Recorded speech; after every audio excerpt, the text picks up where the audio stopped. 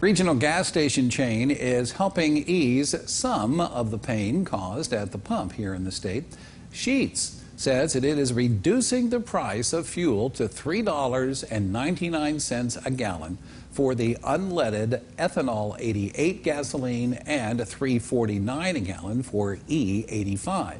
This at select West Virginia locations five of those locations in north central West Virginia, including on Oakmont Lane in Bridgeport, Beverly Pike in Elkins, Earl L. Core Road, and on the Mile Ground, both in Morgantown, as well as the Sheetz over in Star City.